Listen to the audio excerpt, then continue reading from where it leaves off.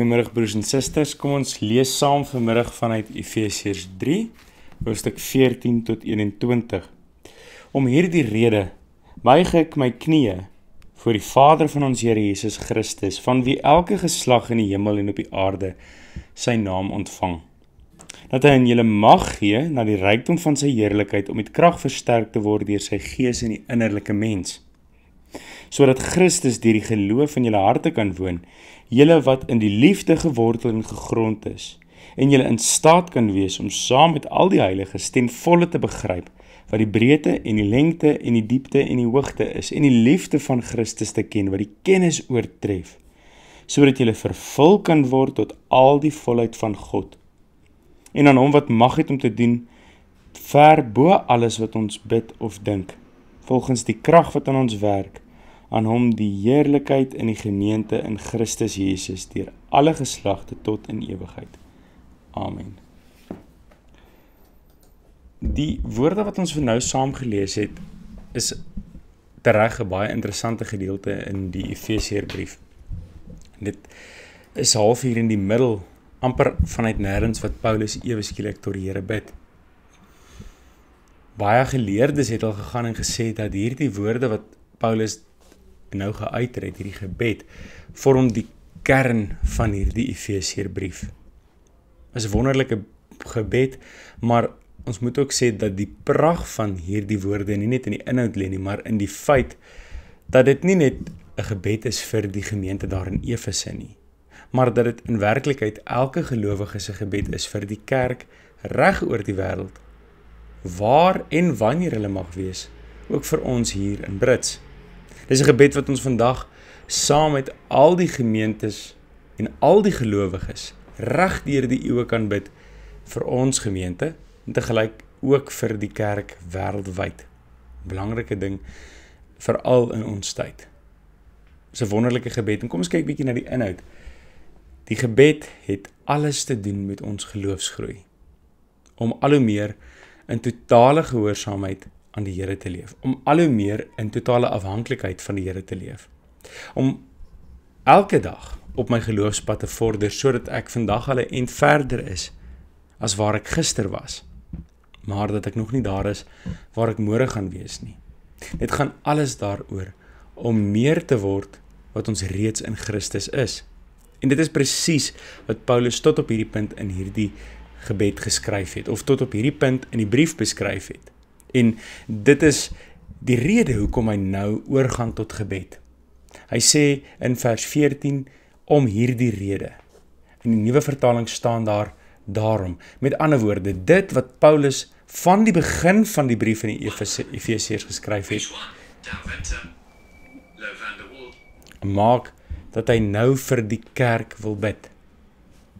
Elke woord alles wat hy tot nou toe geskryf het maak dat hy nie anders kan nie as om dadelik te stop en tot God in gebed oor te gaan.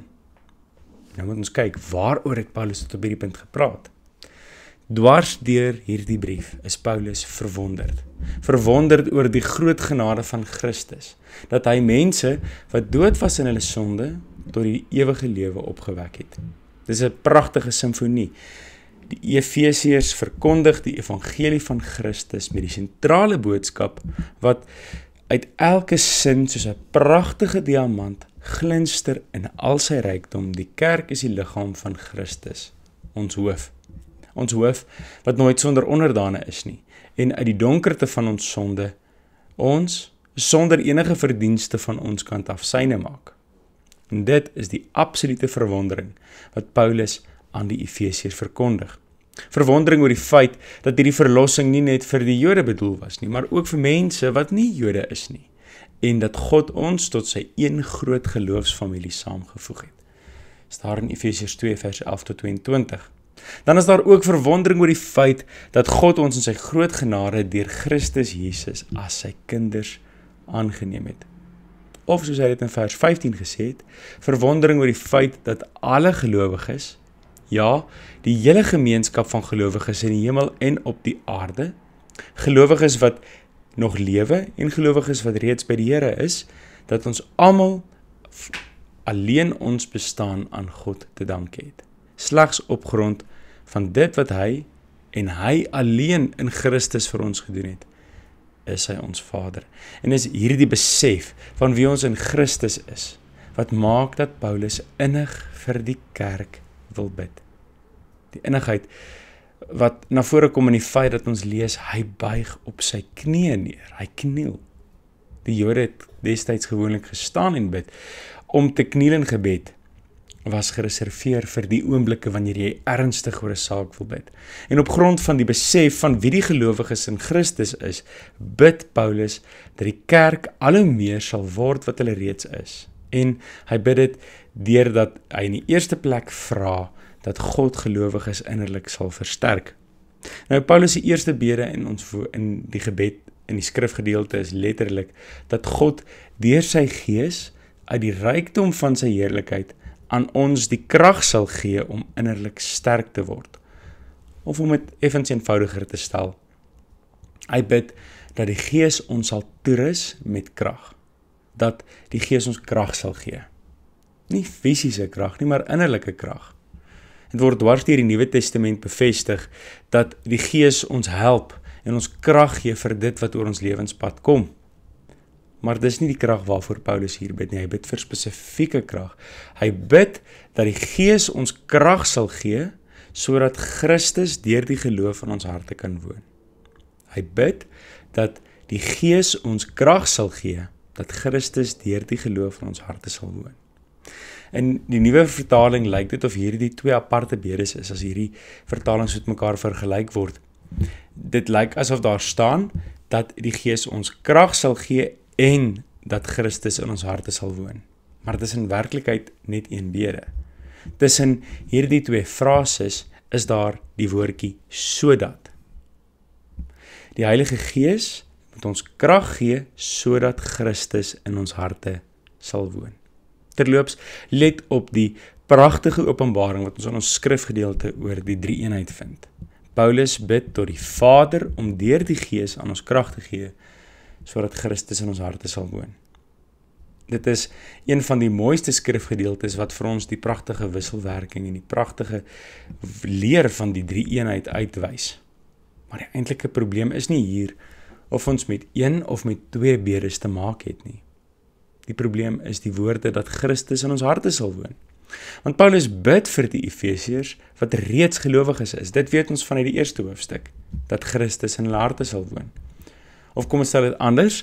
Paulus bid vir die Efesiërs in wie se harte Christus reeds woon, dat Christus in hulle harte sal woon. Hoe maak dit sin? Wat bedoel Paulus as hy hierdie woorde bid? En jy's daarin lê die pragt van hierdie gebede. Die woord wat hier vertaal word met woon beteken letterlik permanent woon. In teenstelling byvoorbeeld met rondswerf en tent opslaan en dan weer rondtrek. En wanneer Paulus bid dat Christus permanent in die Efesiërs se harte sal woon, gaan dit nie daaroor dat hy nie voorheen daar was nie. Nee, dit gaan daaroor dat hy al hoe meer in hulle lewens sigbaar moet wees. Dat hulle al hoe meer moet wys dat Christus die een is wat permanent in hulle harte woon. Dat Christus hulle hele lewe, hulle gedagtes, hulle begeertes, hulle woorde en hulle dade volkome sal beheers. Dit dat dit wat hy vir hulle gedoen het, al hoe meer hulle optrede en 'n lewenstyl sal bepaal. Dat hulle lewe voortaan Christus gesentreerd sal wees. Dat hulle vir Christus sal lewe en werk. Dit gaan daaroor dat ons 'n soortgelyke ervaring as die Galasiërs moet hê of as dit wat Paulus beskryf in Galasiërs in hoofstuk 2 vers 20 dat dit nou nie meer ek is wat lewe nie, maar Christus wat in my lewe. Dit is presies die gedagte wat in die laaste woorde van vers 17 herhaal word. Letterlik staan daar: sodat Christus deur die geloof in julle harte kan woon. Julle wat in die liefde gewortel en gegrond is. Met ander woorde, ons is reeds in sy liefde gewortel en gegrondves. Dit het Christus alleen vir ons kom doen. Maar Nou is die vraag, die gebed hier, dat hy ook sal gee dat ons steeds in sy liefde sal voortwortel en daarop bou. En hoe kan dit dan anders by 'n gelowige? Hoe kan ons passief wees in die geloof as ons besef wat God alles vir ons deur Christus gedoen het?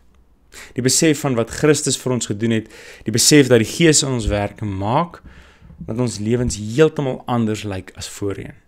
Dit maak dat ons nie anders kan as om hoe langer hoe meer vir Christus te lewe nie. Alles omdat Christus ons nuwe mense gemaak het, omdat hy met sy diepste wese my lewe kom verander het, omdat hy deur die geloof in my hart woon. En daarom bid ons presies hier dieselfde bede as Paulus. Ons bid dat God elkeen van ons, ons gemeente, al die gemeentes reg oor die wêreld die krag sal gee. Oorvloedige krag. 'n Mate van krag wat ooreenstem met die rykdom van sy heerlikheid. En dis nie sommer 'n powere kraggie nie. Vroeger in Efesiërs sê Paulus dat hierdie krag so groot is, geweldig groot is, dat dit dieselfde krag is waarmee hy Christus uit die dood uit opgewek het. Ons lees dit daar in Efesiërs 1. Ons bid dat die Heilige Gees vir ons hierdie krag sal gee sodat Christus al hoe meer in ons lewens sigbaar sal word. Dat ons al hoe meer onder die beheersing van die Gees sal lewe. En hoe meer ons Christus se liefde ken, hoe meer word ons vervul met die volheid van God sodat ons sy beeld in alles kan uitstraal.